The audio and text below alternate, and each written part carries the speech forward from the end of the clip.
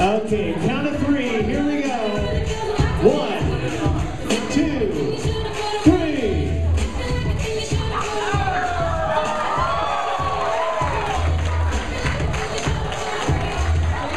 Nice.